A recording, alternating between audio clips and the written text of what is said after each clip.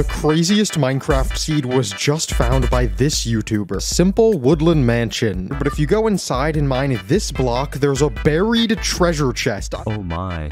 Let's see it. Alright, so we are in. Just need to follow the coordinates. Oh my. What the heck? What is this? My, it was not lying. Let's see that um treasure right here. Oh, it's right here. A very tall pillager's outpost. Is this where the... Oh, what? Oh, that's crazy. Oh, wow. Try it yourself.